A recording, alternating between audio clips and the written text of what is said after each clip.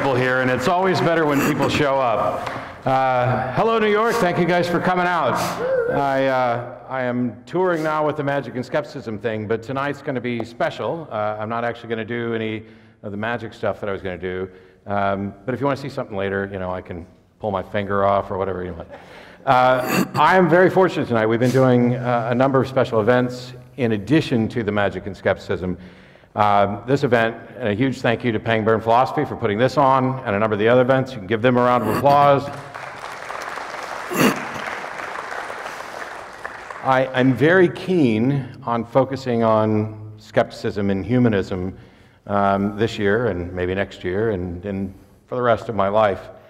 And running around doing this show, engaging in magic, something I've been passionate about since I was three, teaching skepticism, something that I became gradually more passionate about, encouraging humanism and humanist values, has put me in a position where I am fortunate enough to have great conversations with some people that I have never met.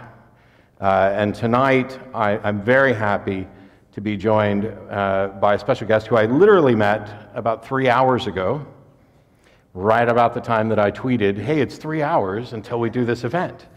Uh, and I like this because sometimes when we announce the events, there are people who immediately want to take sides or determine what the event's about. I did an event in Toronto with Jordan Peterson, and people were like, wait, is, is Matt agreeing with Jordan and they're going to sit there? Or is Matt disagreeing with Jordan and they're going to debate? What is it, what's it going to be? What's it going to be? And uh, it turned out it was a, a, conversation that I enjoyed. And I hope that tonight is even better. Um, he's come all the way over from Great Britain. He is the author of The Strange Death of Europe. There's copies out there for you. Please give an incredibly warm welcome to tonight's special guest, Douglas Murray. Thank you. Thank you. Thank you. Ah.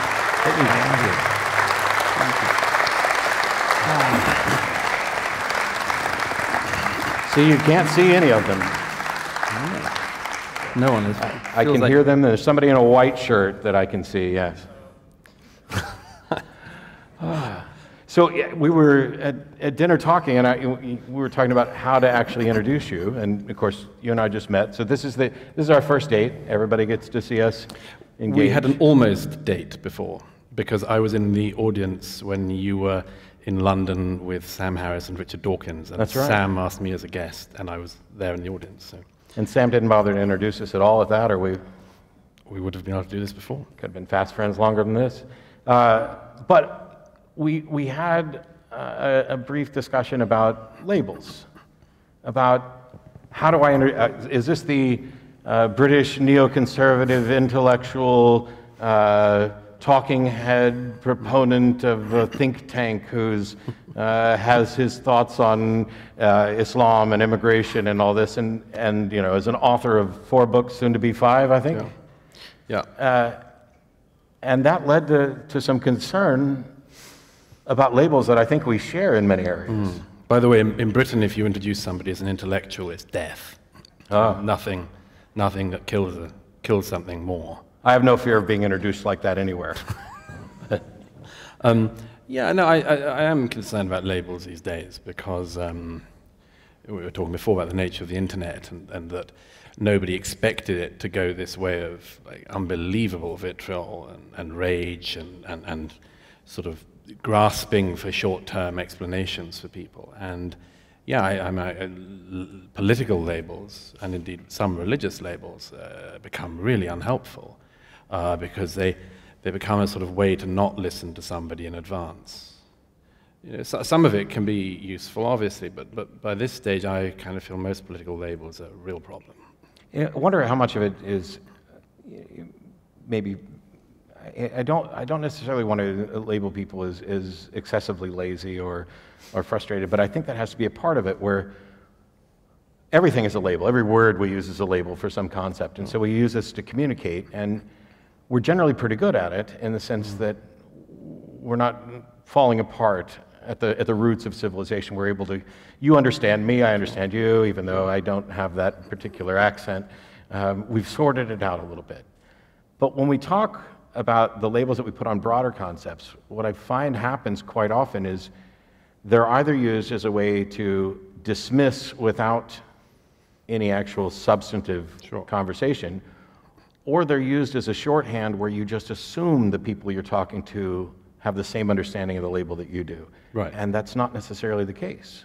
No, and, and I don't want to labor the point, but transatlantic, it's not a consistent language about politics. Where I'm from, liberal means something different from what it means here, for instance. Uh, and there's all sorts of words like that that don't travel.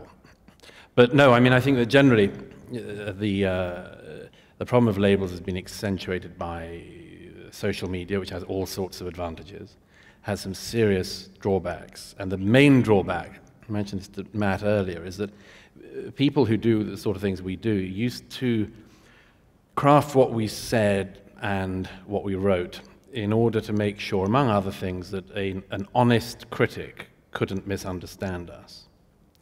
And the strange thing about the era of social media and the internet is that you end up having to, uh, to craft what you say and write in order to try to make sure that a dishonest critic also can't misrepresent you. It's an almost impossible task, um, but one we're obviously trying to find our way through. It's when, you, when it comes to the sorting out which are the honest critics and which are the dishonest critics, I find that's actually getting more difficult as well because uh, while I pretend to read minds on stage, I can't actually read minds. And so if somebody um, comes after something I've said on Twitter or Facebook or whatever, I have to spend a great deal of time before I even decide if I'm going to respond or how I'm going to respond. Is this individual confused? Have I not crafted my message clearly enough? Um, or is there some way I could reword the message to rehabilitate this individual? Or are they one of the dishonest ones, the people who are they sometimes labeled the outrage brigade by my friend Seth? Uh, they're just never going to be happy no matter what you say because you didn't say it exactly the way they wanted to in the time frame they wanted. Yeah, wh- wh- what I get is you, you, you, didn't, you didn't say it all in the 60 seconds we gave you, which, if you're dealing with the meaning of life or something, it's often hard to hit that, that moment. Yes.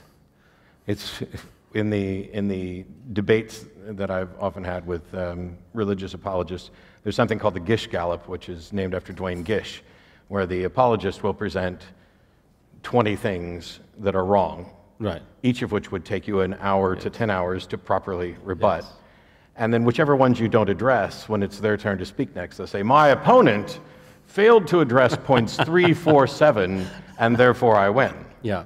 Well, we- the, uh, the Times of London the other day reported on this Flat Earth Society that's now booming, uh, at least booming to the extent that Flat Earth Societies can for the time being. But I mean, they had like, I don't know, they, they had a conference the other day in London, and they got like 300 flat earthers who all had these points about like the, the horizon, no one had actually been to it. How do you know? And, I- and there was some amazing, amazing. Then they had T-shirts and things. You know, they obviously want people to know they're flat earthers and how dim they are. And but the, you know, we weren't expecting that. We weren't expecting the flat Earth Society to get a boom in the foreseeable future, and yet there they are. I can remember years ago, and I don't know how many people here have watched, watched a lot of episodes of the Atheist Experience, but it, there was an episode where I basically said, well, nobody believes in, in the Greek gods anymore. Ah. and that was a mistake because yeah. the emails came in. It didn't come pouring in, they trickled in, but it was still. What still did they say? They, they said, oh, you're wrong. I, I actually still do believe in the Greek gods. And I was like, oh, that's, that's a good joke. And then they were clearly offended and outraged that I would dismiss this as a, as a joke. And so I had a brief conversation with one of them, uh, and it was, it's not worth repeating.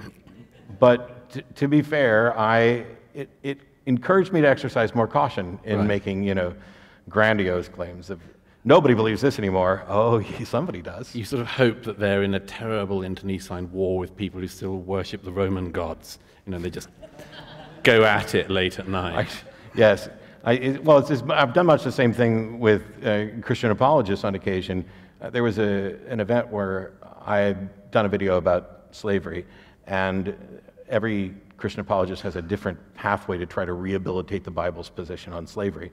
And so I was standing there with four of them, and they were all trying to rehabilitate this in a different way. Right. And so it was perfect because I just said, You four sort it out. When you figure out what the right answer is from God, come back and I'll address that one. Because until you do, uh, I, don't- I don't see any reason to address four different answers from God. Why, why hasn't He cleared this up already? Yeah. Uh, were, were there any plausible arguments from them? I don't know. I never heard back from them after they. I, sus- I suspect that there was not agreement. At least they'd all agreed it was bad. And they were you trying you would f- hope so, but you would be mistaken. Really?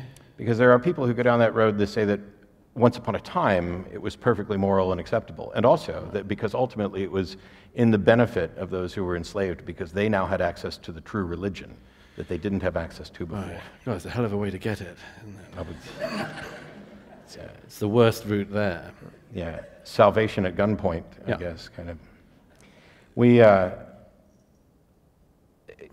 there's, well, there's one question that I was asked to ask you, so, so I might get that out of the way uh, because it might tie into a few things. Uh, a, an internet friend of mine wanted me to ask why you encouraged atheists in Great Britain to go to church last Christmas.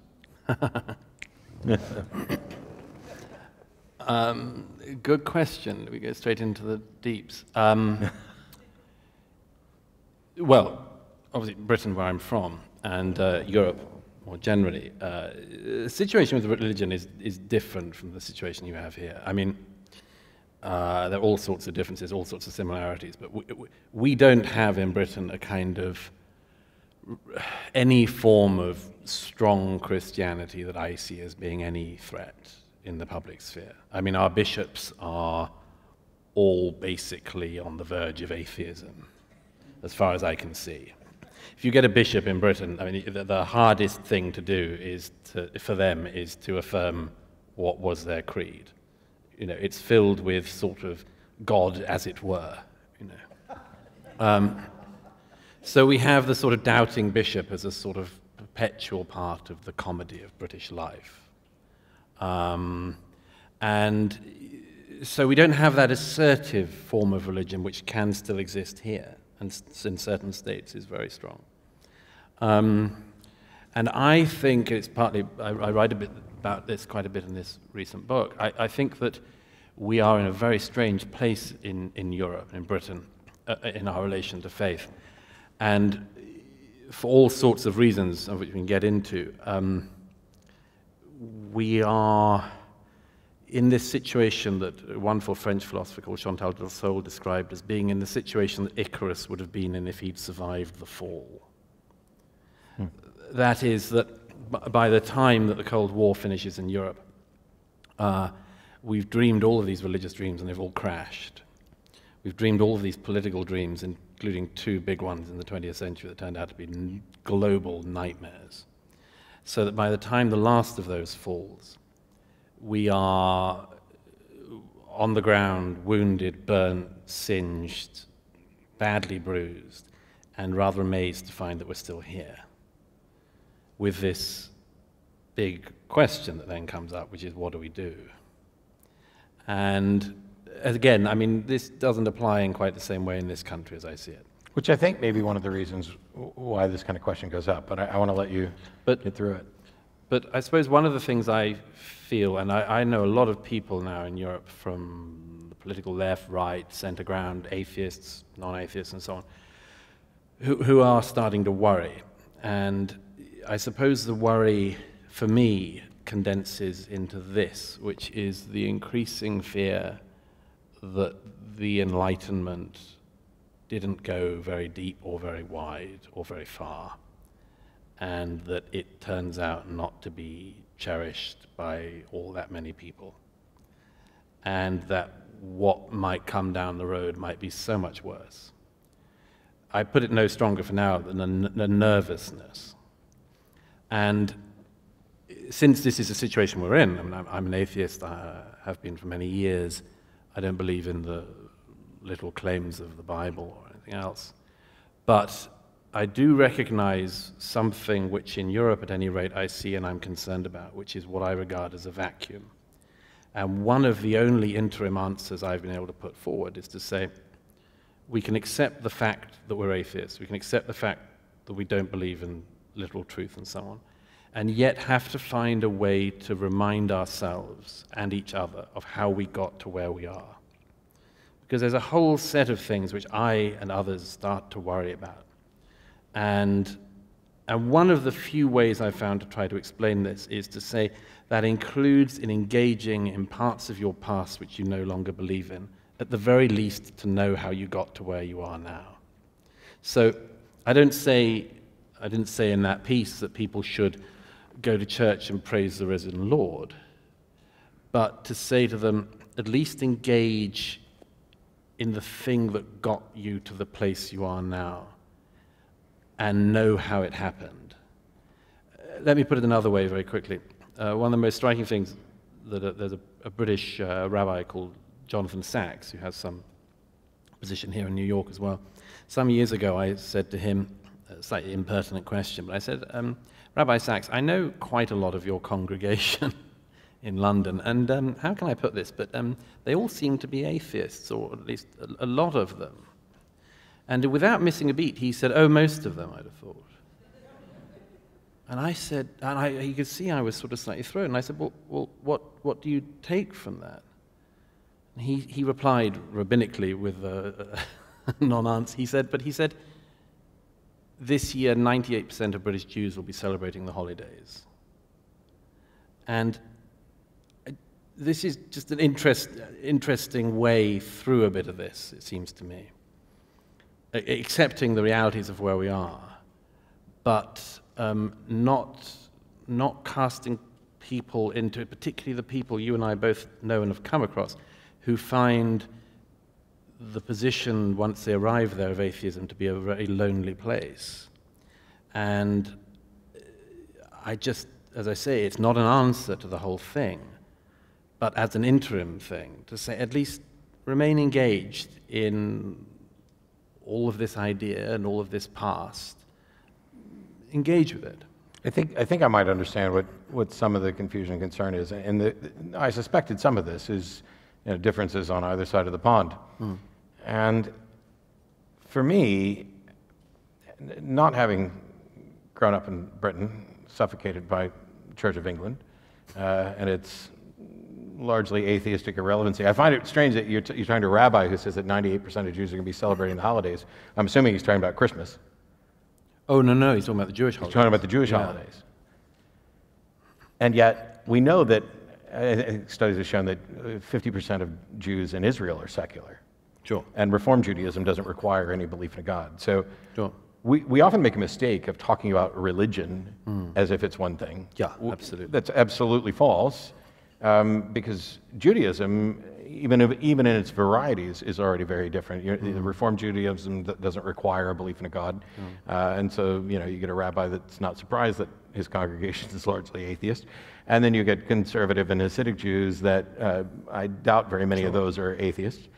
And then you have the various varieties of Christianity. And it, w- one of the questions that's come up quite often is why is the view of religion in the, in the UK so much different from the way it is in the States?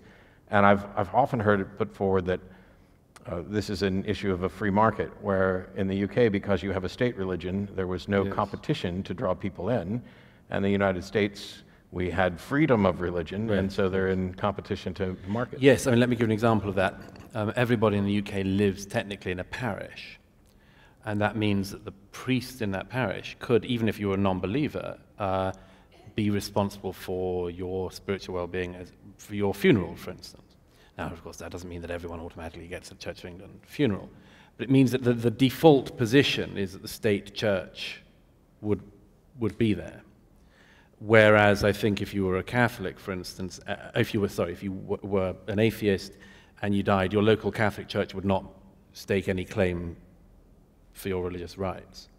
So there is a, yes, it, it, has, it has done something strange like that. The other thing is just that, uh, who knows, it, it's, it's just a lot more advanced in Europe for good and ill, but that, that they say that, well, the southern Mediterranean states, Italy, Catholic Church is very strong still, Spain very strong. So you know you have to draw up these distinctions within it. But basically, in the Protestant parts of Europe, yeah, there's there's um, there's very little. They, they some time ago, I think, became basically the Green Party at prayer. Um, you know, I mean, I, I mean, it, they you know, they explain how important it is to tackle global warming and so on, which is all good, but it's, it's, it's not saying to people, you know, you have to affirm the creed, otherwise you're going to hell. I heard good things about Spain in the last few years, pulling away from the church and, and instituting a, a far more secular government. Yeah. Uh, to the point where I joked that if my country became a theocracy, I'd go to Spain because at least I had two years of high school Spanish, which uh, sets me up well, better. You know, the country that is most striking in is uh, Ireland. I first went to Ireland, in my first book in uh, the late 90s, 2000. And then uh, Ireland was still a very, very, I mean, it's the most, the most oppressively religious country in Europe I'd been to. Uh, the, the, the, the, Catholic Church had such a grip. Today, I don't think you could find a more secular country. It's really fascinating, and it's one thing in particular, which is a clerical abuse scandal, which has just turned the Irish people, understandably, against the whole thing. And, you know, to the extent that you know, a bishop now stands up and makes a moral pronouncement, and the Irish public want to do the opposite. You know, in fact, the Catholic Church, I can't remember what was in the abortion debate or the gay marriage. Yes, they sat out the gay marriage debate, basically, because they knew that if they came out against, the public vote in the referendum would be even bigger for gay marriage. And, and the scandals, eh, they go deep there. They're, they're oh, yeah. not just um, dealing with pederasts and child rapists. This was theft of children from unwed mothers yeah. and workhouses and yeah. just. Uh, Unbel- and in living memory. Yeah.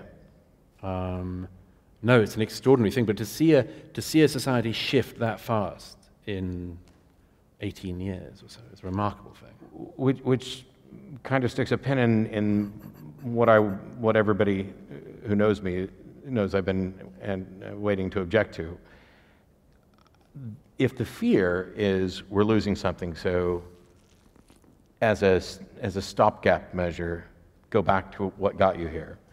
I, I might have a slight issue with going back to what got us here if the place we are is that we're bleeding and bloody on the ground you know, sure. after, after the fall.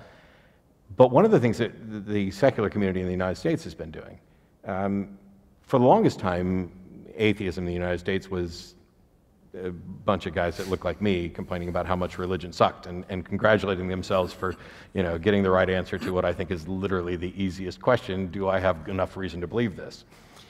But as we move forward and the, the, the percentage of the population that identify as nuns, the NONEs, uh, no religious preference and no religious identity, uh, we've started to do things like well, actually, Sunday Assembly, I think, started in Britain, but it's here as well, an oasis, and we're building landing places mm-hmm. that are founded on principles of secular humanism, mm-hmm. um, which can serve as one potential, you know, moral and virtue guiding principle, mm-hmm. um, but also create places for people to land when they find their way out of religion. Sure. And I, my, I'm happy to tell people, I, I go to church. Um, not for the reasons that you're suggesting. Um, but I go to church more often than people would guess because on the TV show, I want to make sure that I am not strawmanning right. um, religious views. Do you ever get surprised when you do that? Not anymore. No. Um, there's been a massive change from when I was younger. I mean, I went to a Southern Baptist church primarily. I would occasionally go to Pentecostal churches because they had better co- uh, concerts. And they would have the, the Christian rock bands of Petra and Carman and stuff. And they'd all come to those those churches. So I liked well, those. The very words Christian rock band just make me kind of come goose pimply. it, I, I feel the same way when I hear Christian magician, but uh, that's that's another another story. But growing up in those kinds of churches, uh, I want to make sure that I'm not only relying on the version of Christianity right. that I grew up with, right and that I'm not relying on something from 30 years ago. Yeah. So I'll, I will go to some of the churches. The mega churches, even, even most of the people I grew up with who, who you know, were religious would look at most of the modern mega churches and say, well, that's, that's not Christianity. Right. Now, I don't get to say what is or isn't Christianity. That's for them to decide.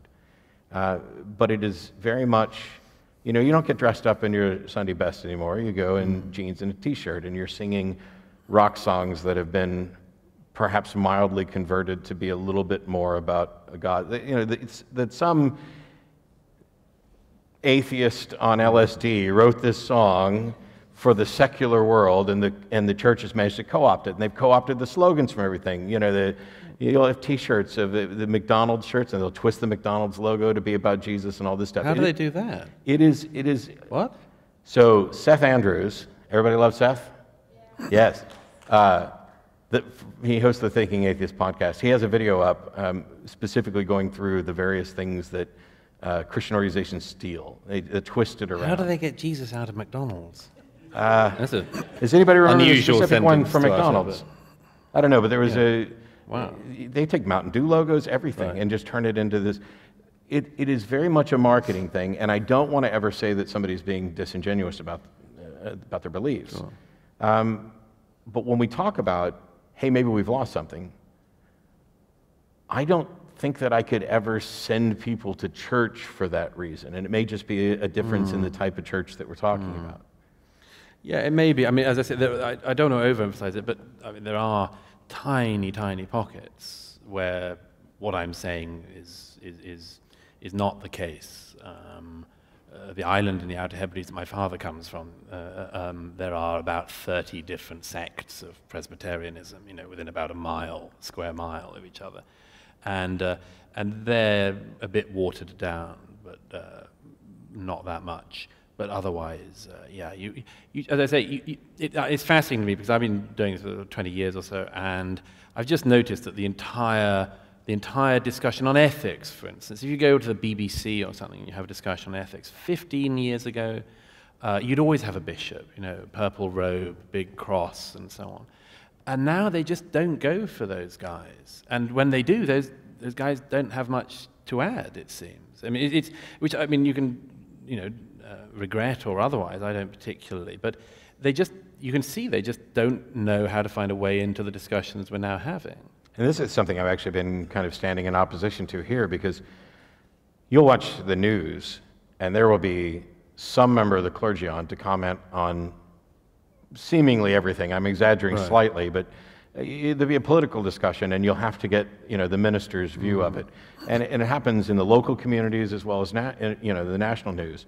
I remember uh, a CNN uh, brief piece, but it stuck in my mind forever because the banner behind them was, Why do atheists inspire such hatred? Of course, I immediately point out the question is flawed because it hmm. presumes that we're the ones ins- inspiring this rather than why is hatred directed at atheists? Yeah. Because then it could be our fault or their fault or a combination. So asking the wrong questions is, is probably the, one of the biggest problems in the world right now. But they had a panel on to discuss it. How many atheists were on that panel? None. Really? Not one. Two Christians and a Jew to explain to the world that atheists were just really bad at PR Right. and that we didn't have any morals to live by. My sense is, by the way, and again, I mean, I mean, this is a positive. My sense, even in this country, is that a lot of the religious leaders, uh, they don't quite want to tell you what they really believe, which is a step in the right direction. And my impression still is that most of them know that the culture has shifted or is shifting significantly enough that they know that some of the things they might believe or might have claimed 20 years ago have become total landmines for them. So here's what we'll do you come down to Austin, we'll take a drive to San Antonio, and you can listen to John Hagee, who runs one of the biggest oh. churches in the United States, talk about how nasty atheists are, and if they don't like God's country, they can get out of the United States, boy. He must be about the only one who hasn't been caught with a rent boy.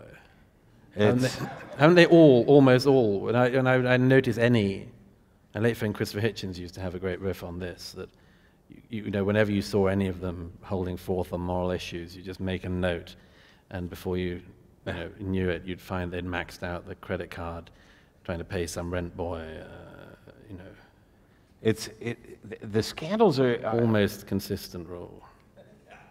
This, So I'm this amazed actually- Hagee, I don't, know, I don't know what the laws of defamation are like in this country, but I'm amazed No, you're Hagee fine. is already not. Yeah, well, it's, and, and he's just one of many examples. There, there's some that are, and this is another problem with the internet. There's a, a, a pastor, I'm not even going to bother saying his name um, because he's already gotten too much publicity. Tiny, tiny church. And yet broadcasts over the internet, which gets him all kind of attention, mostly from atheists who want to just say, oh my gosh, this guy is terrible. I don't know that they're, I don't know what percentage of, of, of church-going Christians actually care what this guy says, but he's awful uh, with regard to women and everything else. Uh, but when we, you know, clearly there's going to be differences. I wonder, I, I wonder if how much of, of the differences that we're seeing are actually related to differences in culture. Because I have, I have some rather troubling uh, questions related to culture. And as you've spoken a lot about issues related to multiculturalism, I figured maybe we could address some of that because what does it mean to say British culture, Western culture? Is there even enough uniformity of value for that to be a meaningful phrase? And what is it that we, we should be worried about losing Yeah. if that's diluted? Yeah, that's uh, a huge one. We're all trying to think about this at the moment. Uh, and there are versions of it that sound nicer than others. Some are horrific. Uh, we have this big discussion now, you know, what is our culture, what is Britishness, what is... And every country in Europe is having that discussion, and I, I hear it here, I hear it in Canada. Uh, sort of constant self-examination. There's nothing wrong with that in a way, although it can cause what I regard as being a kind of breakdown. I mean, if if you said to any individual all the time, you know, who are you, what are you, what, I mean, you'd, you'd, you'd end up on the couch quite fast.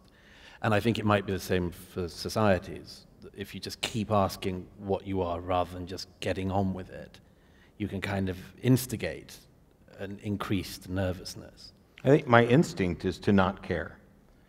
Right. I, I, I'm happy to adopt whatever labels apply to me and to explain what those labels are, but there's nothing about me.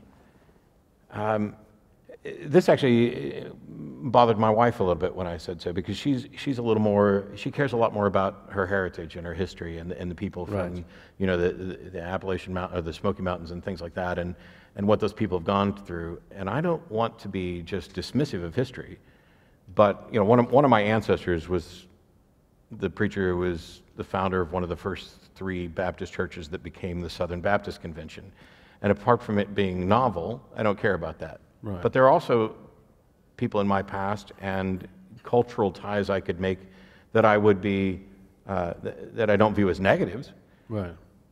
but they're not me. No, but uh, th- there's a, another French philosopher, uh, Alain Finkielkraut, who recently said in an interview something I was very struck by. He said, We in France used to think that our, what we had was worth taking around and giving to the rest of the world. And then we retreated from that idea. And he said, Now we're in a position of thinking, can we at least still have it for ourselves? Um, and I was struck by that because, again, it, it might be a thing of, Uh, depending where you are and what you've seen, but I, I, uh, given some of the things that France has gone through in recent years, some of which I write about in the book, you know, multiple really terrible, terrible terrorist attacks and assassinations and so on, I, I, I can see why they are getting nervous and wanting to address some very fundamental principles. You know, is what we have in the secular French state, which allows for religion, but you know now is dealing with new problems. Is it is it all vulnerable? And I know a lot of people who feel it is. And I suppose another thing. I mean, I I spend a lot of my life as a journalist traveling, uh, not just you know across this country and North America and across all of Europe, but uh, the Middle East, the Far East, and Africa, and so on. And there is an in, there is a definite feeling you get in certain places of well, uh, I, I don't want to force my own uh, view of my own society on this, but this is very different, and it reminds you, therefore, that what you have is unusual.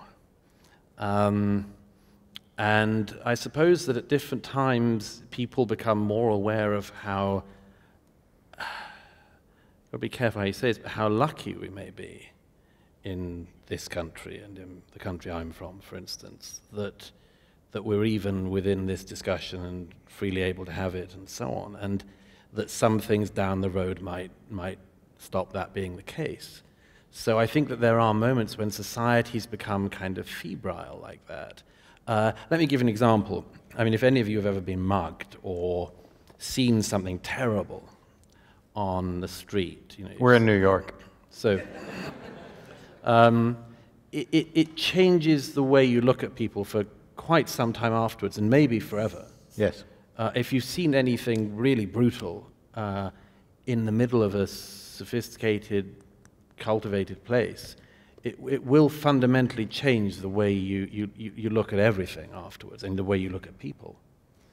And, you know, this is the case with uh, conflict zones, war zones I've been in. You know, you, you, it's not just that you come back from those places thinking, my God, I've got an idea of how lucky we are to have this settlement we have, but also why people who are from such places have an ex, well, but this way, have, a, have one less layer of skin than everyone else and feel certain things early. And, um, and that's the case in certain countries in, in the West at the moment. And that's partly what this book is about, that certain countries, France being one, are really reevaluating some of this because they are, they are seeing futures that they want to avoid. I, I can see that. I, first of all, I, I recognize that you know there are people who are going to have experiences that are going to change the way they view things. That doesn't change whether or not their view is accurate. Sure. But when it comes to this idea that we need to protect our culture, hmm. whatever it is, from some other culture, that, that just doesn't seem to resonate w- hmm. with me for any reason because may, maybe it's because I'm, I'm, you know, the standard, generic, privileged white American dude who doesn't care that much about his past, but I view things in terms of there's, there is, there are right answers and wrong answers to how to do things. And different views of what was right and wrong have existed in different cultures. Sure. But we know that some of them were wrong. You know, it's, I don't think either one of us is a Spectacularly so, remotely yeah. a moral relativist. That is the thing that I want to hold to. What, what I view as uh, the value of secular humanism, the value of basic freedoms. Um, if I have a town and a bunch of people start moving to my town and they're bringing their cultural stuff, I don't have any fear that they're going to kill off my culture because anything that's worth value to me, I'm going to protect anyway. And I, I advocate for the, for the freedom for them to engage in and support and value their culture, right up to the extent that it impedes on Right. the, the secular, reasonable, scientific founded you know, laws and things It's like what that. like a boundary beating. Yeah. I call it. I mean, you, you, you've got to beat these boundaries quite hard, allow a lot to go on within it. But, but yes, and once certain lines are crossed, you've got to, you've got to take a, a stronger view on it. Th- that, that, by the way, I mean, Hark on about it. It may not be of much interest, but this is why France obsesses me because within one year, they had the massacre at Charlie Hebdo, most satirical, uh, secular, atheist paper. They had the massacre of most of the staff of that magazine, and also a, a priest beheaded at the altar in Rouen as he was saying Mass. If that extremity of things can happen in a culture in quite a short space of time, that is, that is the sort of thing that would return you to the fundamental questions. And as I say, one of the fundamental questions all the time is is what we have the sort of natural default position of humankind, or is it a pretty unusual thing caused by quite unusual factors? Uh, and I, at any rate, take the second view, and therefore think that from the secular tradition and others, you've just you've got to be aware of it, at the very least, to make sure you don't piss it away. I think, I think one of the things that uh, this is another difference from you know two sides of the pond, uh, and we talked about this very briefly, is that people will contact me on the show and say, "Oh, you spend all your time talking about Christianity. That's all you talk about, Christianity, Christianity. Why would you do that? Because it's a call-in show, and that's what people are calling in about." Uh, first of all, it's also my background. Well, you don't, you don't talk to us about Islam at all. I was like, well, actually, we have many, many times, and uh, there are occasionally Muslim callers. Uh, there's one of them who I'm fairly sure I, I made cry, even though that wasn't my intent. Um, but we address those things, and yet the thing that I keep trying to point out to people is that while I might agree that when it comes to religions worldwide, Islam might be the single most have the, the, single most dangerous ideas and, Yeah. and be the greatest risk worldwide. But that doesn't mean it's the greatest risk in the United States or in Texas or in Austin. And you've spoken a, a, a great deal about um, Islam, and I think that there are different things going on in the UK that we don't see here. I mean, Muslims in the United States, I mean, apart from the general fear that has been instilled in everybody, which I- have, I think is, is at least exaggerated for us, um, but I couldn't say that for everybody. There's, there are Muslims in Dearborn that are, you know, drinking and getting tattoos, and, and you know, they've been, that, their version of Islam has been uh, poisoned, probably for the good, by the, the secular and perhaps even Christian culture that they're surrounded with. I once, I once uh, was with a pretty devout Muslim friend, and he'd been fasting for Ramadan, and he broke the fast with me in a pub with a pint of beer. So I thought it was a, a happy meshing of cultures. And so when we see these changes, and, and granted, I don't know, and, and you're free to tell us what we don't know about how things are, are much more in conflict with, with regard to people trying to impose their version of Sharia law in conflict with UK laws. And Yeah, there is there is some of that, and um, it, some of it's exaggerated, but a lot of it is is real and is there. And I mean, I, I give the example of you know the de facto blasphemy law that now exists across Europe. Um, I, I mean, it's not just Charlie Hebdo. Uh, uh, uh, quite a number of colleagues and, uh, and friends have been shot at in recent years for for blaspheming Islam, and uh, that's in, in 21st century Europe, and it it's it's something which I, at any rate, and a number of other people refuse to shut up about because we think it's intolerable that that should be the situation. And the oddity of that is that, you know, uh, um, if you if, if there were to be anyone who decided to kill Michael Palin tomorrow because of the life of Brian, I strongly urge this is not something I think should happen. Yes. Um, but if that were to happen, we just the whole culture, everything would, would turn on whoever did that. There would be no ifing and butting. There'd be no kind of, well, you've got to understand the offense he caused. You know, we'd just, we'd just be saying no. And that, that isn't the case with this other religion in this situation, partly because people are worried about uh, allegations of bigotry, partly because they're worried that, you know, it's kind of punching down, and uh, one of the motifs of the time on this, and that you might be upsetting a beleaguered minority and so on. But a third of UK Muslims polled after the Charlie Hebdo attacks said that they had some sympathy with the attackers. A third.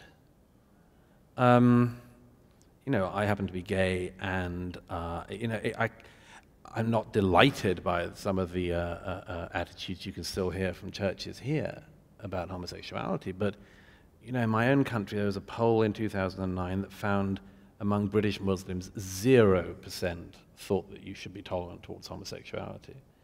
And a poll taken two years ago found that the majority of British Muslims wanted being gay to be made illegal now. So that's the sort of thing where you start to, you just start to worry.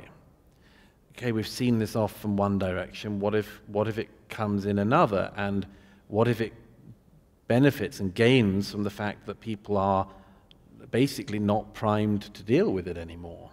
There's a, there's a documentary on uh, Netflix, because I watch tons of documentaries on Netflix, especially when I'm on the road. Um, and it's called Welcome to Leith. And it is about a bunch of Nazis or neo Nazis who moved to a town somewhere in, I don't know, Wyoming, Montana, someplace, and essentially tried to take it over. Right. And it's really eye opening because it makes you wonder, well, what would happen if they tried to do this in my town? Now, it would take a lot of them to take over, you know, Austin or New York or whatever. But mm. in a small town, if you had a, a massive group of people show up with a particularly dangerous ideology, mm. such that they could actually take over the city council, that they would become the dominant voting bloc, Right.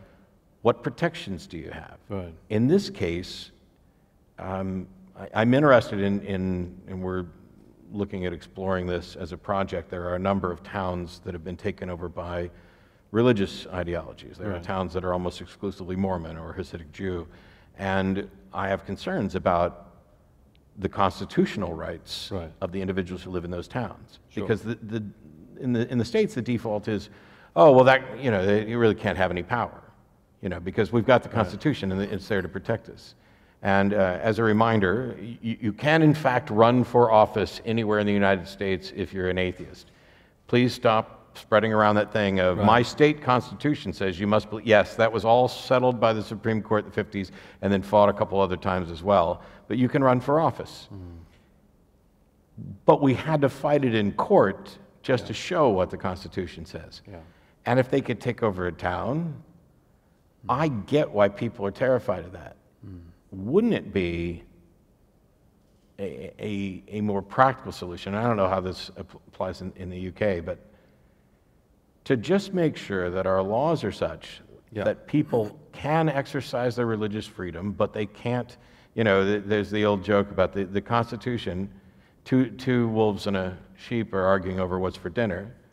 And the Constitution, or the democracy is what allows them all to vote, and the Constitution is what guarantees that the sheep's not going to be dinner. Yeah.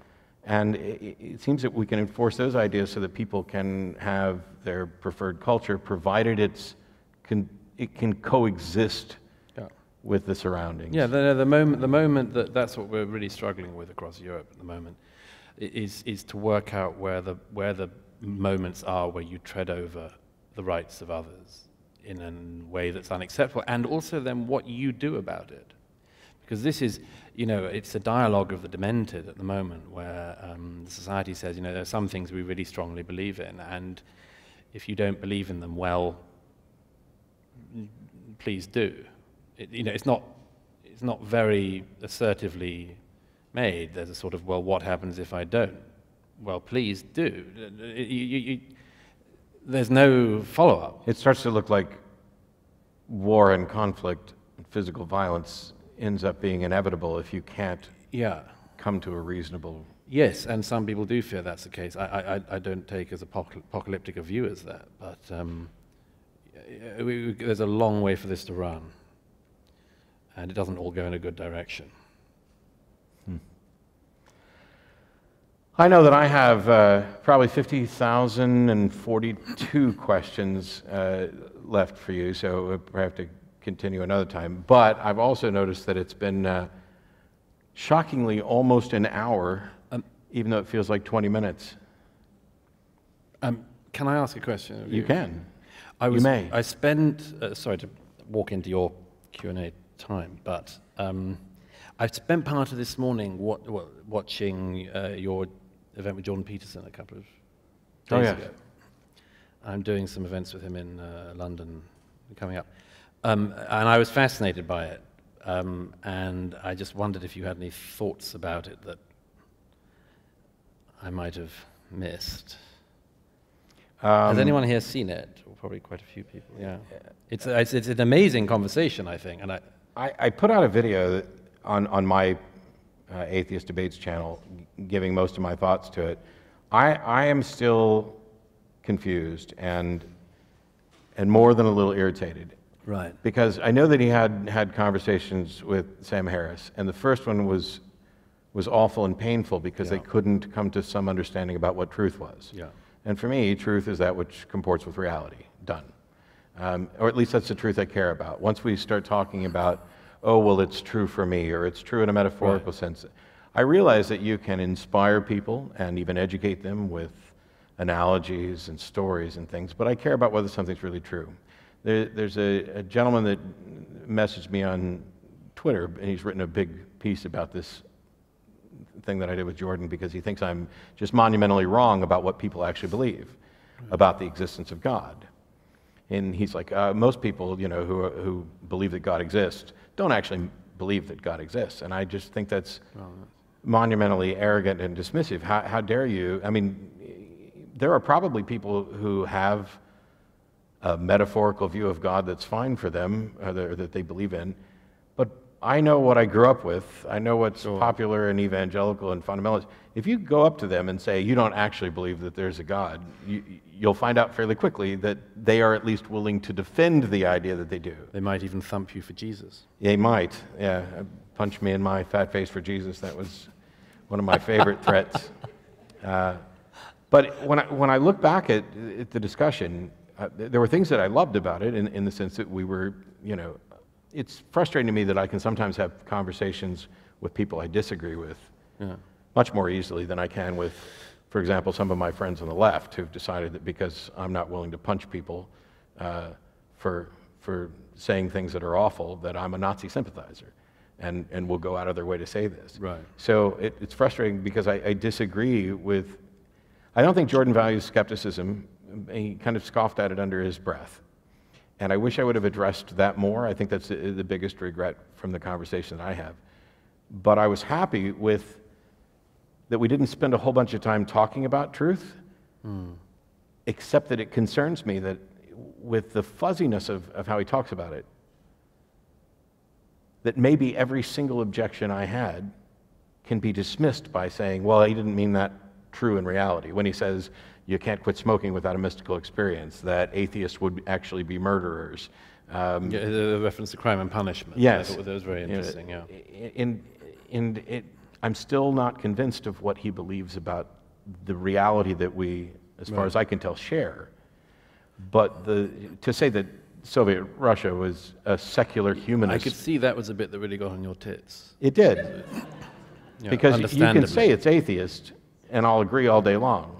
And it was all, you, you could also say that it was, you know, uh, you, you could try to make an argument that it was because of atheism, Yeah. but you can't really get anywhere from atheism to therefore we should kill people and have this particular. se- You might as well start with his mustache and say, you know, you know mustachioed dictators are awful. Yeah, I, I, I thought it was fascinating, and I, it was really interesting the, the points at which you really were clearly at, at, at loggerheads. One was that, that, that issue. The, the, a thought occurred to me, though, that, that, that uh, Jordan clearly has a, a, a pretty bleak, you might say, realistic view of human nature and what it does when it's unleashed. and I share some of that. Uh, um, but it, it, it's possible that that was one of the things that was playing out underneath that claim of his, which is um, you see, sometimes see this, by the way, among very conservative people, that, that, that they come to quite rigid uh, feelings about things because they actually themselves intuit where they might go unleashed. And that seemed to me to be sort of abundantly there in, in what he was saying. And I, I, find, by, I find his attitude towards religion fascinating. He, he reminds me of, a, of the philosopher Roger Scruton a bit, because Scruton, I think if, he's written a lot about religion, but I think that if, if you really dug down and you said to him, for instance, you know, do you believe in the physical resurrection? He wouldn't, he would want to not answer that question.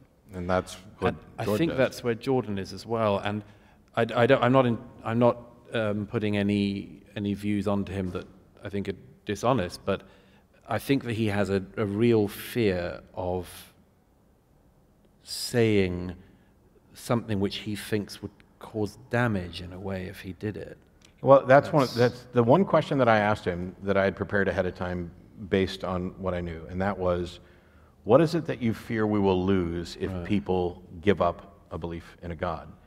And he started with, well, we'll lose the, the narrative, the metaphorical substrate mm-hmm. of the narrative, blah, blah, blah. But that doesn't tell me anything because it doesn't tell me what of the narrative is of value that we're losing. Right. And then when I pressed on that, he just said art, as if there's not ton- well, the problem is, is that I could say there's tons of art from, from atheists, except that he also doesn't seem to think there are any atheists. Right. He thinks everyone is religious and that people are just professing atheism, but they've made. None of this meshes with. Certainly, certainly it's, it reminds me when I'm in debates with Christian apologists, and they say, um, "Oh, you're not really an atheist. You, you, you actually are just uh, publicly denying that you exist. You, you believe in a God, uh, or you, you actually know that a God exists." And that comes from, I mean, I did a debate with Sye Ten Bruggencate, who's a presuppositionalist, and that's his big thing. We, we all know that God exists, including you. You're just, you know, lying or whatever. And he's mocked for it. And yet, in reality, Jordan did exactly the same thing, essentially saying, you are all a, you are all you atheists are uh, professing atheists that you know a real atheist would be a cold-blooded killer who would you know rationalize and justify this way. You can't have a moral foundation that is secular. Uh, and he tried to use AI. Anyway, I don't want to go through the whole e- evening, but it was essentially the same thing I get from unschooled, uneducated apologists on behalf of a much more strict view of religion. And that's why earlier, you may be right about what he's afraid of.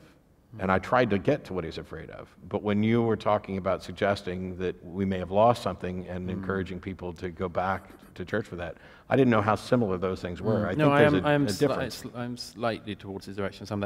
I mean, I just, I don't want to belabor this, but just one example. Um, a little while ago, in in uh, uh, after a talk, uh, a, a young man, a student, came over to ask a question afterwards, and. Uh, and he said, uh, uh, this was a real warning flash, you'll know this. He, he said, I don't understand why you don't talk about IQ differentials.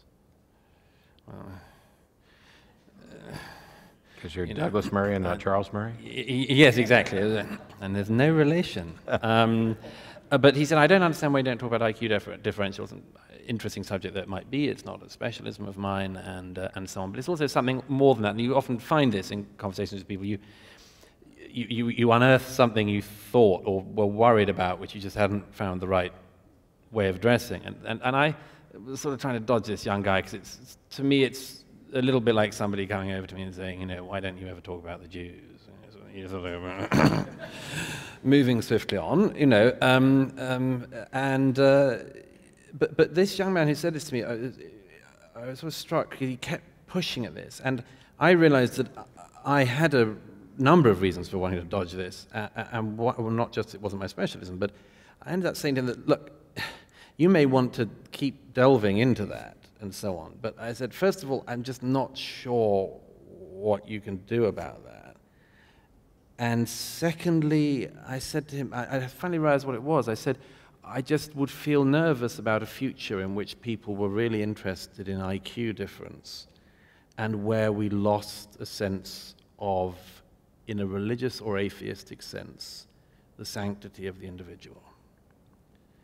And I just, it, it clarified for me that sometimes you see how a pile up can happen, and you didn't realize that was why you didn't want anything to do with it. But that was the case with this young man, I'm sure. It's, There's people who press on a, a number of issues. My, my I, I'm exactly with you.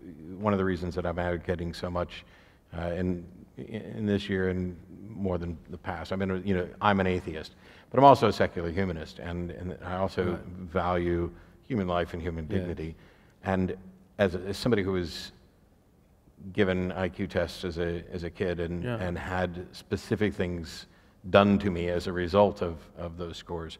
Uh, I know people with IQs higher than mine who are boneheadedly stupid, Yeah, yeah, and people who have incredibly low IQs who are brilliant at things. Yeah, and, uh, and, and I care more about what people believe Yes. because the beliefs inform the actions, and mostly I care about whether or not those beliefs are reasonable yes. um, because I want to make sure that, you know, I've, I've said I want to believe as many true things and as few false things as possible. That's me cribbing Hume in a, in a more hip fashion. Uh, but it, it's true, and you have to have both parts of that. And it seems to me that anytime we start trying to quantify Yes. the value of people, doing math with souls, doing the collateral damage math, doing the what's your IQ, how many Twitter followers do you have, how many, all of these things distract Right. From whether or not what this person has said is reasonable and accurate. And you, and you always get to that position that any avid reader uh, will always be confronted by at some point, which is that somebody you know who's never read a book can be the loveliest person you know. That's not a discouragement from reading, by the way. No. And or indeed buying books. especially as we have uh, the strange death of Europe. On, on that note, I want to get, uh, we're going to go ahead and move on to some questions from you guys, because you guys have, may have way better questions than I was going to come up with at all. Uh, but thank you so much for doing this, No, and we'll get some questions here from folks. There are microphones up at uh, either one of these. And uh, I think they'll bring, I don't, I don't know what the, the lighting change is going to be, but you can come up to the mics. A couple of reminders. Uh, after we're done with the Q&A, uh, Douglas will be out to sign books, and I'll be out to shake hands because I don't have a book to sign yet. But also, questions end in a question mark, and they don't begin with your life story or your dissertation. Those who are familiar with me from the atheist experience um, know that I will hang up on people, and if you think I can't do it live from the stage, you are mistaken. but uh, we'll start here with you, sir, if you can. You don't, you don't have to say your name, but uh, who the question's for, or both, or whatever. Uh, my name is Alex. Uh, question is open to both, but somewhat more focused to uh, Mr. Uh, Mr. Murray. Um, in your book, you refer a lot to the dichotomy of, of identities between Eastern Europe and Western Yeah. Europe. I come from, my family is from Eastern Europe, from Romania, Oh. where we have a very deep a relationship to perhaps not being particularly observant in religion, but being Eastern Orthodox. Um, many of our saints fall into very much this idea of protecting Europe from the Ottoman attack, for which we, for hundreds of years, were both subject to 500 years and fought against. Uh, and it's this new type of narrative that, that we do speak about. I'd like to get some more impressions um, on not only how you see that as a potential solution. You speak specifically mm. about Slovakia and, mm. and, and Poland, I, I reckon. Mm. Poland is a little, doing a little bit different thing right now at the moment with their history. But if you see a solution in this sort of not necessarily virulent nationalism that we experience in the 90s in places like Yugoslavia, but rather, do you see as a corrective model in Western European identities by saying, as you say, sort of revisit the paths that you've developed from um, potentially in a church? That's a very interesting question. Um, basically, for this book, I mean, I, as well as traveling for some years to a lot of the countries that people have been fleeing from, uh, both as asylum seekers and as economic migrants, uh, I'd also spent recent years traveling across the continent from north to south, east to west, uh, meeting a lot of migrants, for instance, who just come off the boats, the Greek and Italian islands, uh, um, speaking to a lot of refugees, migrants, and so on, and uh, following the conversations all the way up to the chancelleries of Europe. And yes, you're right. I mean, I came to the decision that the, recognition fairly early on that there was a totally different view in the former Eastern European countries and the Western European countries. And i- look, I mean, this could all get very messy. I have no doubt about that, and I'm um, I'm aware of what in some of these countries, not very distant history has been, and uh, we're always walking on precipices of some kind. Uh, I- my view is that the, the reason why they have a totally different view towards mass migration and other related issues is because not only they had a history for hundreds of years fighting with the Ottoman Empire, pushing them back from the gates of Vienna and much more, but because of what I think of as the 20th century issue. I mean, we in Britain, like you in America, we never had the Nazis in our country. They made it to the Channel Islands in the UK, but you know, we didn't see populations rounded up and sent to the death camps. And You did see a Um, lot of bombs, though. we saw a lot of bombs, it's true. And these things do remain in the memory for a long time, and rightly so. And my view is that Eastern Europe learnt one of the worst things imaginable, which is that you can have your entire country and your culture destroyed from one direction, and just as you think you might get above the surface and breathe, it gets totally destroyed from another direction. I mean, to have lived under, under fascism and communism in the space of a few decades, and to have only come out of it quite recently, is bound to have an effect on you that is different from your view of the world if you were born and brought up in New Jersey. You know, it's, it's, it's going to affect it. And, and, and I suppose the thing it comes down to for me is this: is that, and I and I am you know broadly in agreement with what some of the countries in Eastern Europe have done in recent years in this regard. I think they know one of the what I think was being a very important lesson, which is to be careful with your present and to be careful with your future, and not to carry out experiments on your country that you don't know how they'll turn out. Just to be careful with your future because you don't know. You could, you could screw it all up in new ways. And um, in Western Europe, there's a lot of things we're coming across which we never expected to come across because we hadn't planned and it didn't mean any of it to happen. And, you know, uh, um, and I think in Eastern Europe they have a different view. So I just say that you know, it's not an argument for people being illiberal or being anti-democratic or anything like it. I just, I think people should be very careful because this is, for most people, the only vessel they have to live in. And if it's screwed up, you've screwed up the only thing they've got. So be careful. This doesn't seem to me to be a very extreme position, but sadly it's regarded by some as being so. But mm-hmm. I, at any rate, still hold to it. Yeah, and, and for clarity, because I've heard you talk about this before, you're not anti-immigration. No. You are... I'm anti totally um, unbounded and unrestricted and uncontrolled people walking in, just, you know, flowing in on boats without anyone knowing who they are by, as happened in 2015, the millions. And I, I've seen the strain it puts on societies. I've seen the strain it puts on the liberals. You know, and it, it's, it, it, it's going to be very difficult. And I, am curious, thank you for your question, by the way. Yeah, thank you very I'm much. Gonna, also, uh, I'm deeply honored to, to oh, have gotten a ticket to be here tonight. And, uh, well, likewise, thank you. Thank you. I'm, I'm, I'm a little bit of a, of a, I don't even know what the right word is. Um, from a pragmatic standpoint, um, I understand there are nations and borders, and there are uh, good practical reasons to make sure that we're not just, you know, having wide open borders anybody can cross and we don't know what's going on and where, all this. On the other hand, in the purely impractical utopian sense, I have no actual objection to a one world government, a one planet community where we are about human beings. Mm.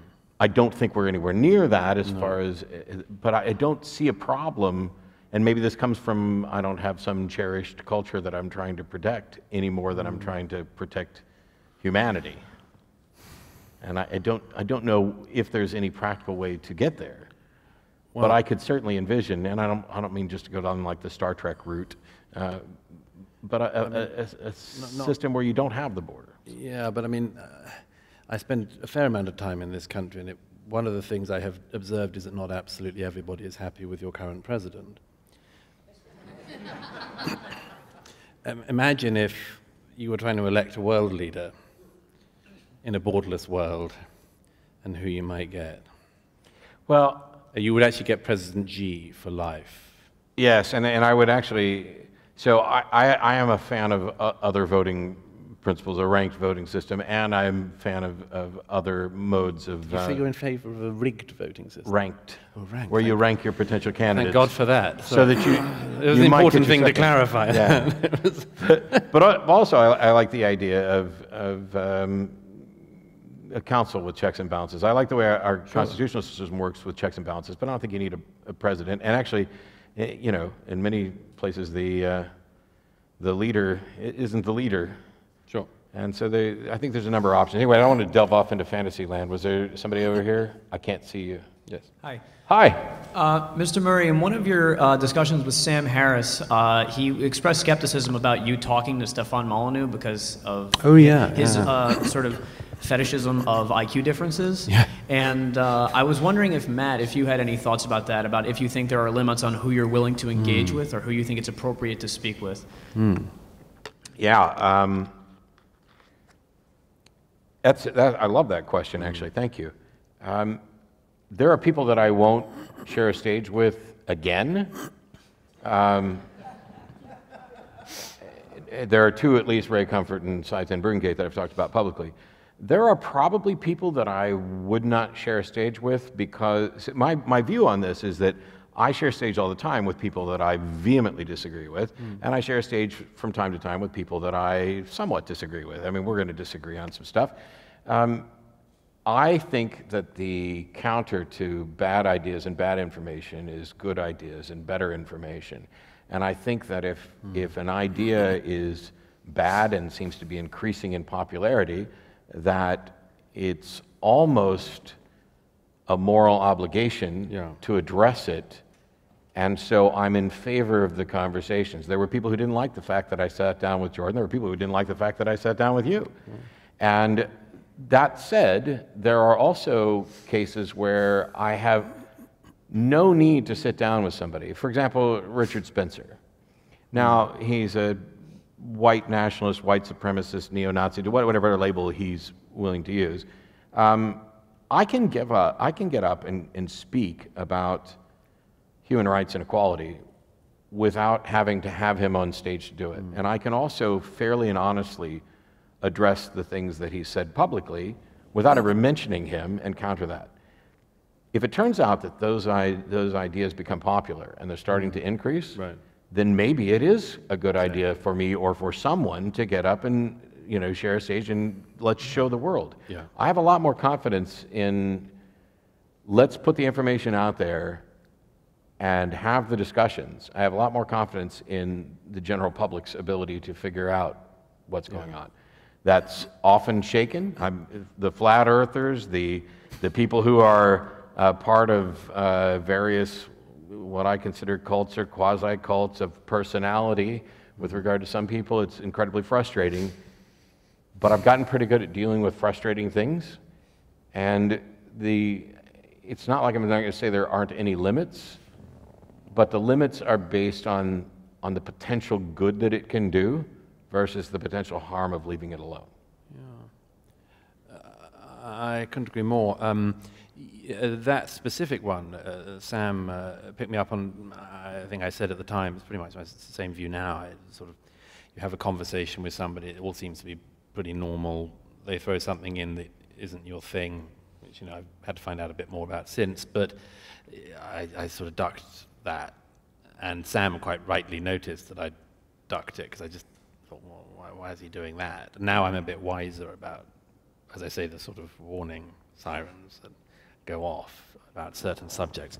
But, um, but I'm, I'm a great fan of promiscuous conversation, and, um, and, I, and there's one example I'd give in the UK. There's a guy called Anjem Choudary who was a very prominent, uh, led a tiny number of British Muslims, but a really very, very vehement and violent group.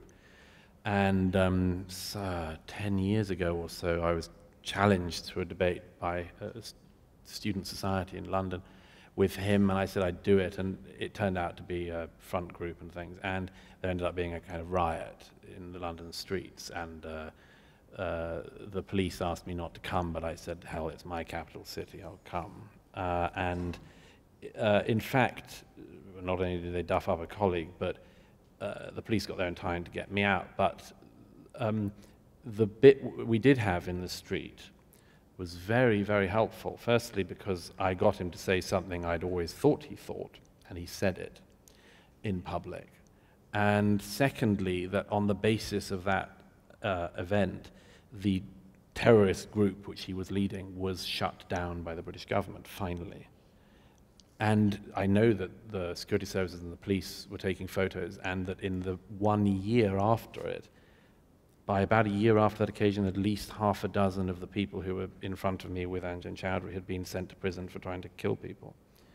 And I was very pleased that this event had smoked them out, and they'd appeared in public, and uh, okay, they shouted vile stuff at me and so on. That wasn't very pleasant to have a hundred jihadis against me in the street, um, but it, it turned out to do an immense amount of good. And um, we met on subsequent occasions in uh, slightly more uh, studio like environments. And again, you could show up what he thought, and just the fact that he just wasn't somebody engaging in normal dialogue. He was somebody who had a bunch of people behind him who he was encouraging to blow people up and assassinate them in Britain and around the world. And I'm very glad that he's now in prison. Not the only one of my enemies who's now in prison, incidentally, but that's another story. And that's why I'm not his enemy. yes, sir. Hi, I'm Chris. I'll give this to either of you. And Let me just first say that if you're looking for an example of a community to study where a fringe group has basically taken over the entire civil government, Kiryas Joel here in New York State would be an excellent example. That's one of the towns I was talking about for filming for the documentary. The, the question is, we seem to have moved as a country, our country, uh, from healthy skepticism where you withhold acceptance of an assertion absent being presented with or finding appropriate evidence, to unhealthy skepticism where you reject basically any assertion that doesn't meet your existing framework of biases. I, I have to interrupt you right there just because I'm doing the Magic and Skepticism tour. And uh, I, I, I will never call those healthy and unhealthy skepticism. One of them is skepticism, and the other one is cynicism, and they're different. Fair enough. But th- then the cynicism is reinforced by the fact that people gravitate to TV channels, the blogs, the social structures Sure. that reinforce their belief structure. How do you challenge that? How do we, as a country, get back to a situation where reasonable, healthy skepticism is an appropriate way to make decisions? Let me give you one example, if I may, which has been much on my mind recently. Um, Russia. Okay. I, I've written a lot on foreign policy and international affairs, but Russia happens not to be a specialism of mine, but I'm interested in it. I have quite a lot of friends involved. And something remarkable has happened in recent years. There was a time uh, in the last decade when you just, it was really very hard to alert people to Vladimir Putin's nefarious activities. People didn't really care that much. He, they poisoned somebody on the sushi shop opposite where I was living at the time, but it was like, oh, well, you know, that's the Russians. Um, and, um, and so it was sort of hard to wake people up about that subject, about kleptocracy in Russia. And then we got to this weird stage where absolutely everything that happened that some people didn't like was blamed on Russia. Now it's really hard to persuade people that Russia is doing anything. They either say that it is controlling the entire world, every single plebiscite, every vote is organized by the Russians, and, and so on, or they just believe that the FSB and its sister organizations are just sort of sitting around throwing paper darts at a wall somewhere in Moscow. And it's very, very hard to find people in between these two places who are willing to pay any attention to specific things that the Russians are doing and have been doing.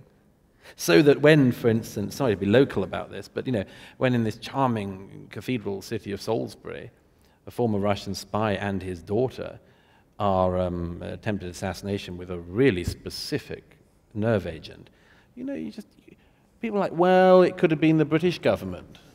Oh yeah, yeah. The British government's very keen to poison people in cathedral cities with nerve agents. Yeah, they're always doing that. But if they wanted to blame it on the Russians, that'd be the perfect way to do it. yeah, exactly. It's it's a sort of it looks like a false flag, you know. And I, I had, as I say, and, and I'm not a Russia expert, so I don't have I don't have time to look at every single issue of it. I'm just aware that we're losing the reasonable place in which a reasonable discussion would be had, and that's just on one issue. I think, I think the best thing about this is that whatever the solution is, it's already started in part because we're now more aware and talking about this question comes up almost everywhere we go uh, or at least me i'm assuming you get everybody's concerned about this or at least a good chunk of people are and as that concern increases you'll get people who- start to recognize hey yeah the algorithms on facebook are feeding me all the shit that i want Right. And all the stuff that I clicked on that I liked, and this isn't necessarily true. Or I've been only watching Fox News, or only watching MSNBC, or only watching CNN. I watch all of them, Yeah, uh, one of them to laugh at, um, and, and be terrified by, because, you know, I like horror movies. I think the fact that we're becoming aware of this is, for me, a positive sign. There is no easy solution. There are probably people who are going to go to their grave. You know, I've said before that people would ask, you know, how long is it going to be before, you know, religion goes away? And I was like, I, as sad as it is, I think a generation or two might have to die off because there are some people who just aren't going to change their mind. I think that some of that's going to be true for misinformation about politics and political regimes, misinformation about uh, cultural phenomenon and, and, and, and people's preferences, how they override facts. But the fact that we're talking about it is step one. Hmm. I'm not going to be able to give you a solution at all. I took a test. this is so sad. I took a test on Facebook that was kind of like, how insulated are you? And it was, I figured, okay, this will tell me how much of a bubble I'm in on Facebook, which was silly of me because it was just another Facebook click thing. And it was, it had questions about movies and politics and all kinds of things. Was wide ranging. And, you know, I, I'm, I'm not an expert at that sort of polling at all, uh, but I'm also not clueless. I'm pretty sure it wouldn't have mattered what I would have clicked. It told me that I was in the least bubbly area uh, of anybody, you know, the, the percentage percentile that they tested. And that's when I stopped clicking on any sort of poll stuff like that. The other thing is, I, I joked one time the solution is to delete Facebook,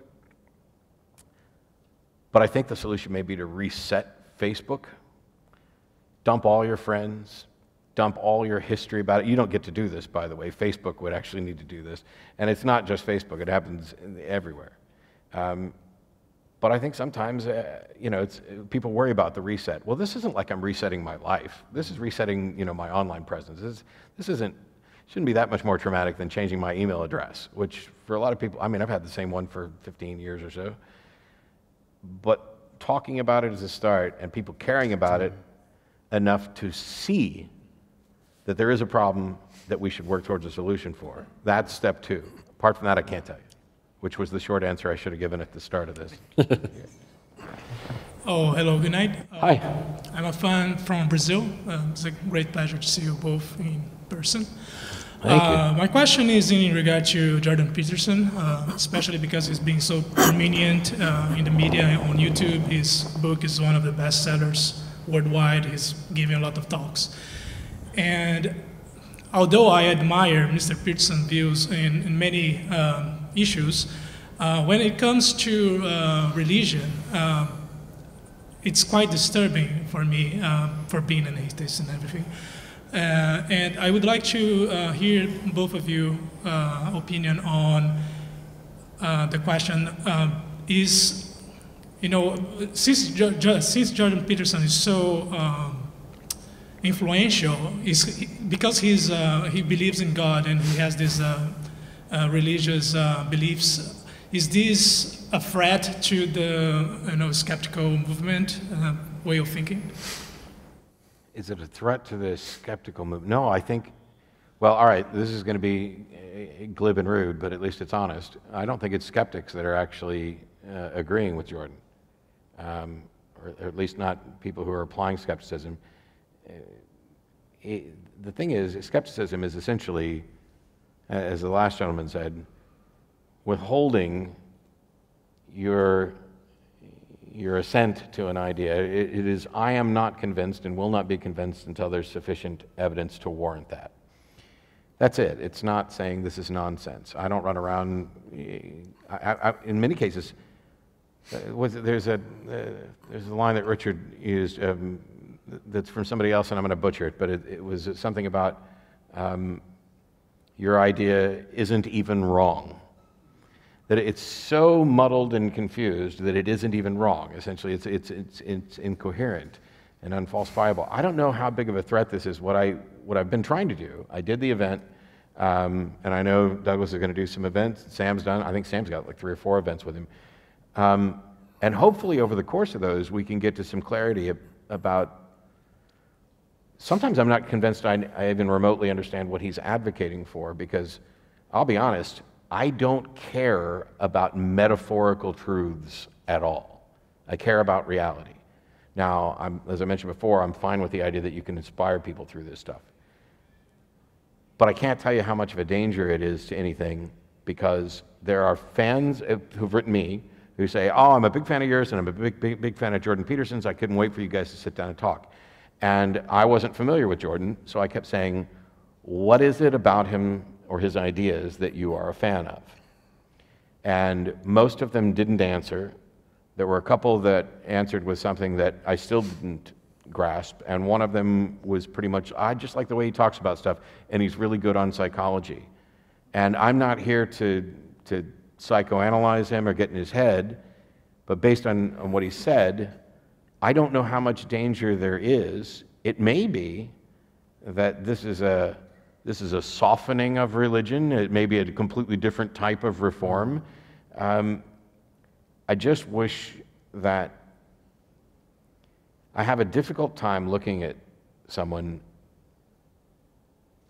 who's an apologist about something that's unclear. Because if a word can mean anything to anybody, then it means nothing. And so if you say, I believe in God, and you and everybody else have a completely different, you know, God is real, and you have different definitions of God and is Hmm. and real, I don't know where you, where you go from there. Yeah, I, I, I agree with some of that. I, look, uh, it's, Then you're partially right. And I'm partially right. um, I think that he's doing, done several things, and he's doing several things which are very important. I, I don't know if one's allowed to still quote Woody Allen, but let me just try. Some years ago, Woody Allen gave an interview in which he was asked about whether he minded not having gone to university, and he said, um, he said he had because although he'd spent his, his life reading and amazingly wide reader and a wide knowledge, he said he felt that it was like a bridge. He, he had that bit and he had that bit, but what he hadn't ever got was that. And uh, I knew exactly what he meant. Like, I, I don't have the arc that you can get if you've studied the whole of, I don't know, whether it's literature or law or whatever. You know how you get to there because you came from it and you know the whole route over the bridge.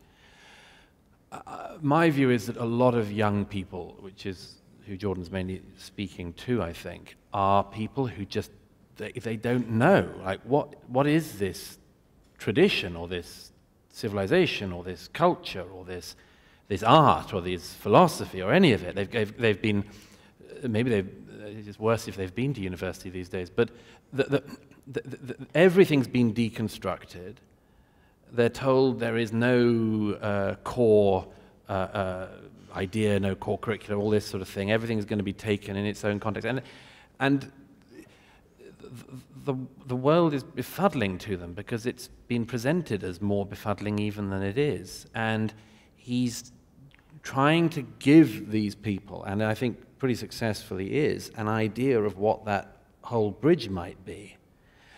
And the second thing I'll just say very quickly is that he is speaking to a, thing which I, I've written about quite a lot as well, which is this, this sense, again, I don't want to bang on about the Europe aspect of this, but a, a German philosopher, um, Jürgen Habermas, who I quote in my book, uh, wrote what for me was a very important essay some years ago called The Awareness of What's Missing, where he writes about um, a friend's funeral who is an atheist who um, leaves instruction that there is to be a funeral in a church. There's no, no amen to be said, and there are to be no priests in robes. And Habermas, in basically his most coherent work, in my view, um, sums this up as the fact that he says his friend has recognized the loss of faith and has also recognized that we have not yet come up with anything that remotely goes into its place. Now, lots of atheists say we don't want to fill that place. We don't want to come up with new religions or replacements for religion and so on. Fine. But that there is a, that there is a vacuum there, I think, has to be recognized. And uh, my own view is that there is a deep, deep longing that people will have with or without religious answers. And that to, to, to, pretend that that is not there is a very big mistake, whether you're a believer or non believer. And he appears to be speaking to those deeps. And I, at any rate, think that that is a great service. Uh, I have disagreements with some of the ways in which he answers that. But, but this, final thought, I mean, this is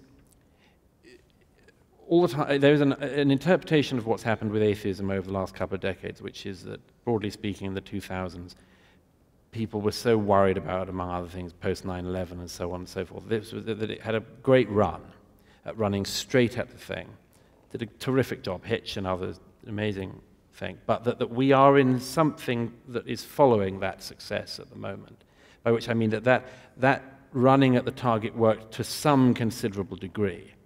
But there are a set of questions now which we have to be engaged in, which are slightly further down the road. And, and I think he's involved in that territory as much as or more than anyone. And I'd see no other plausible people at the moment. I, I think I agree with you that he's filling a gap that some people experience. I just don't agree that there's necessarily a gap because I'm happy with taking the good wherever I find it, including within religious doctrines, and getting rid of the bad. And so the, the concerns that people have about the vacuum portion, everyone that I've been presented with, I, I, I, have at least for me, and it may not apply for everybody else, I don't see a vacuum there. Right. I, I, I have a, a, perfectly acceptable moral foundation absent religion. I think that, and a matter of fact, not, not only do I think that the vacuum is something that religions have, have created, but amplified. They've, they've done a disservice to, to people in how they deal with death by not acknowledging that it's an inevitable part of life. Um, that uh, if you realize or are convinced that this is the only life you know you're going to get, you might treat people differently the first time around rather than thinking you could make up for it. It was said once that um, religions poison you and then offer you the cure. And I think that it's more accurate to say, and I've said this before, that religions convince you that you're poisoned and then offer you the homeopathic remedy. And it turns out that there was no poison, that you weren't a bad fallen creature, that you uh, aren't, uh, that your fears about death or loneliness or whatever, these are just the facts of the universe. The universe doesn't care about us, so we have to care about us. And that's where secular humanism comes in. So I agree that atheism doesn't offer anything to fill those gaps, but secular humanism does.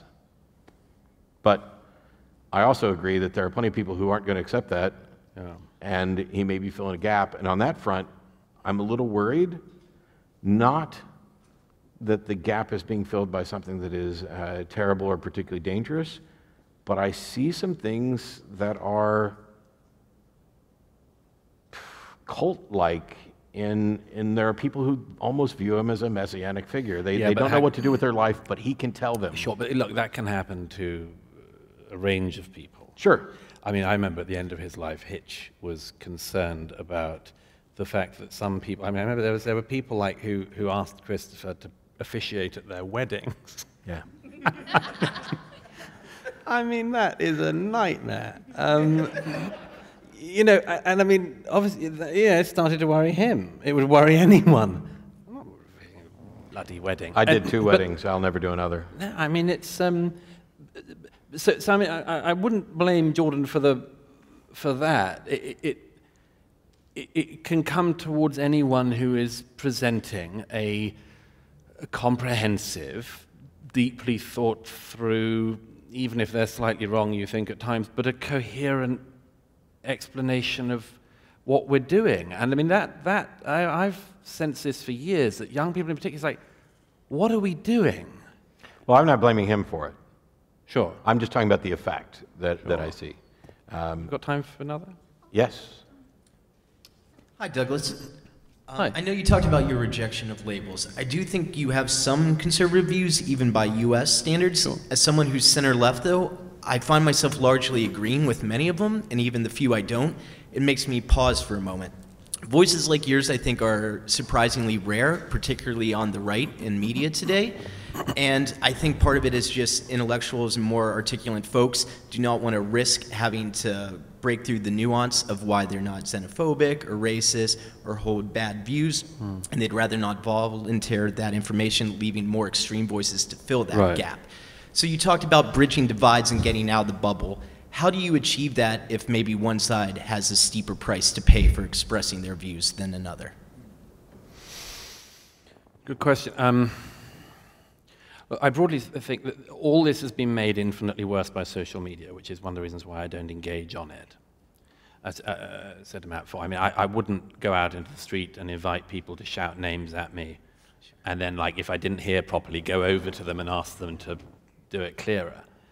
And, um, and in the same way, I don't seek out the sort of mad uh, burlesque of, of, the debate or what passes for debate on social media. But um, it's clearly exacerbated because people on, I think, all political sides are increasingly behaving like trolls. So, I mean, you see it all the time. I mean, take abortion. I've got pretty typical European views about abortion.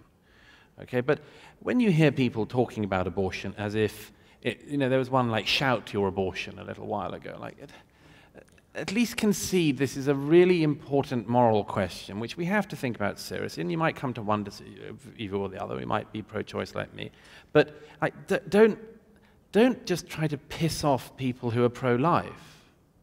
Uh, I think pro-life, by the way, I don't like the saying. It's like the other side is pro-death. But anyhow, but you see this all over the place at the moment on almost every issue. It's like my, the people I dis, you know, Lena Dunham says this, so I'm going to say this. You know, Donald Trump said this, so I'm going to run this way. And it, it's just, it's just clearing out all the mainstream. I gave the example of Russia, but I mean, you could do it on almost anything. Uh, people that seem to be forming political views, not because they've reasoned themselves into them, but because they want to piss off people they hate. And I just think we have to find a way to do better than this. And that, and it comes back to this thing about not making claims about your opponents are just demonstrably untrue. I, I mean, I, I, have this with, with Sam. Like, somebody said that a conversation Sam Harris and I had was like Nazism or something. Like, you, you gotta be the most fucking ignorant person in the world to think that Sam Harris, the West Coast yoga doing, meditating liberal, is a jackbooted Nazi. Okay? And I make no uh, claim about myself, but you gotta be, you gotta be just, you gotta know nothing to say that. You got to have not seen anything or been anywhere or read anything. Unless what you're trying to do is to clear out the decent liberal ground, okay? And that's what some people are trying to do. I see it all the time at the moment. It's like we want to get rid of the voices who are plausible. So we'll make totally illegitimate claims about them being Nazis, fascists, white supremacists, and so on, in the hope that we'll throw enough mud at them that they're no longer in the debate. I say again, you have no imagination of where this goes. Because if you've, if you've heard people, you, this is another thing we've all seen all the time. When the mainstream media can run roughshod over somebody's entire life and career, and you see it happen, you become very doubting about the next times you see it happen with people who you don't know about. And one of my, one of my things about this is that if you've heard somebody illegit, if you've heard 99 people illegitimately described as Nazis, it's highly likely that you won't believe the hundredth time somebody calls somebody a Nazi, and it's possible the hundredth time it's a proper Nazi. I saw this once in London. I won't go on. I saw this once in London at a debate where a really stupid person I knew was sitting beside me in a debate, and somebody stood up and asked a question. And another friend of mine, who was a Labour MP at the time, said, It's the Nazi lady. Okay. Uh, it was somebody who I won't name, but friend of David Irving's, this, this person he pointed to. I read a piece by this really stupid person in the Telegraph two days later saying, It's appalling. Everyone's calling each other Nazis these days when they disagree. No, she is a Nazi. She actually is a Nazi. But it was like she'd heard it so many times that she didn't believe it when somebody said, Oh, no, that's the well known Nazi. And, and that's sort of where we are. And it worries the hell out of me. I mean, the continent I'm from, we've got some Nazis around, okay? They're, they're like, a Golden Dawn in Greece is about as thuggish a fascist street movement as you can get in 21st century Europe. If you claim that there's basically no difference between Golden Dawn and Sam Harris,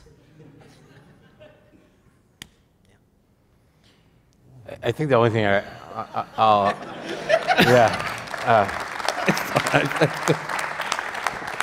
I'm tempted to add nothing, but um, there's one thing that ties to your question, and no offense to Douglas, but I heard him do it. We all do it. But I keep cautioning people against it anyway, even though I'm prone to it. So it's worth getting out there. Argue honestly and stop pretending that you can read people's minds. yes. When I, I'm as pro choice as you are going to find, I've debated it. I will call the other side anti choice, and um, I will demolish their views that I think are actually harmful. But my wife and some of her friends had previously said, ah, the anti choice people, they just want to control women's bodies, they just want to control sex, they just want to punish women for having a vagina, uh, a uterus, sorry. Boy, I can't believe I got that It's, wrong. not, it's not but- my area, yeah. so. so, cheers. Uh, and, and I said, don't do that.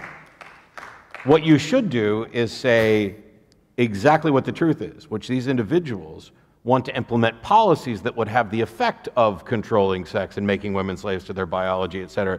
That doesn't have to be their motivation. Their motivation could be we want to make sure that every living thing lives forever.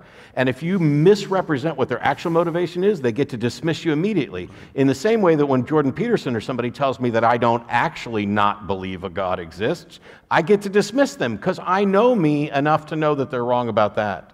And so, if you stop pretending you can read people's minds and stop pretending you know what their motivations are, and instead talk about what they're actually doing and the consequences of those actions, I think you will get a lot farther. There's a lady there. Thank you. Yes. Hi, Sarah. Um, I'd just like to say I'm Jewish. I do believe in God, but I don't think that God um, it discriminates against atheists because He made you guys for a reason. Then, n- um, number two, um, I would like to address the um, you, brought, you bring up the, bli- the blitz, um, you know, circuitously or you know obliquely. Um, I would like to ask First of all, as an atheist who, who, who speaks on religion regularly, weekly, um, do you find that that's a substitute for ministry? Uh, your, your family is very strong in ministry. And number two, if you did not have your ministry, what would you have a passion for that kept you going? And what would you do as, as, a, as a vocation? Is this for me? Because I think so. You This for you and, and, and, for, and for you. I was going to say I didn't bring up the For- blitz for- at for all. you, So I know that your, your father was, was, uh, was a Presbyterian minister, yes? Not a minister, no. He, Uh, he was, uh, he was, but you were, um, he was a congregant. but, uh, okay, I, that, I, I, I didn't know it. Sure. There was, your Wikipedia is incorrect. yeah, uh, not for the first time. Uh, the short version is uh, I'd have a passion for all the same things that I have a passion for. As far as I can tell, I mean, obviously I can't rewind the clock and, and remove my religious upbringing and everything else. I'd probably have a passion for much the same things I do, for, for learning and educating and magic um, and my, my hobbies. But it, the, the values that I have. The, the interesting thing for me was when I found my way out of the religious beliefs, I had to take an inventory of my entire life and why I believed what I believed. Hey, if previously killing people was wrong because God said so, well, does that mean I can kill people? Ah, it turns out, really easy answer no. And there are good reasons. I'd rather not die. You'd rather not die. It's probably in our best interest to make sure we discourage that sort of thing. So you can have completely pragmatic, even selfish reasons to reach those conclusions. So, what about psychopaths? Well, I mean, you, you don't get to point to the exception. Uh, they, they're not going to have a reason whether there's a God or not. The better question is, why did God make psychopaths? But I would, That's- That's a question for psychology, whether he did or not. well, uh, so anyway, I, w- I would have a passion for, for much of the same things. Uh, my passion isn't let me destroy religion across the world. It is to, and because I'm not saying there is no God and religions are wrong, I'm saying I'm not convinced there is a God. And every time throughout history somebody's tried to argue for one, it's been logically fallacious and without evidential support. so far. Is not, is But- not, faith, personal faith without judgment is not support? I'm sorry? I- Personal faith without judgment of others is not support? Personal faith without judgment of. You, you, the, the the previous, the person who just asked the question about religion dying out, it reminds me an awful lot of, of Oprah's idea about, you know, the, a bunch of old white people have to die out before, before the um, racism is gone. It's a bit of a, um, a eugenic solution.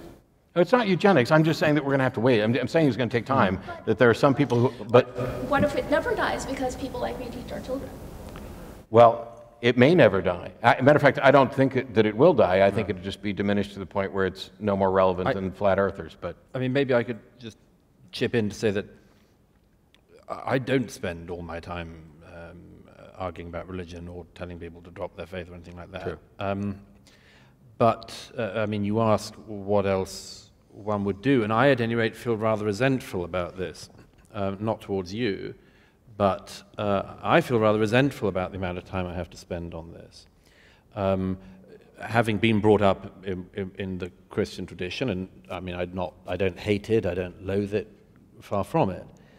Um, but I, I, I resent the fact that having, broadly speaking, managed to see the church's role in society reduced to the position which I think it should be in, I feel resentful that now in the 21st century I have to spend so much time reading hadith and so on. And I think of all the things I would do, and it answers your question. What I would be doing is doing what I did from the beginning before this all diverted me, which would be concentrating on my first love, which was literature and art, and writing about that.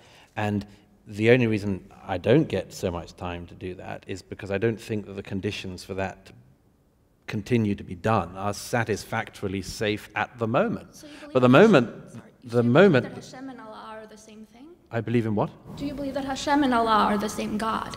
Because you just talked about Hadith and not about, um, say, Talmud.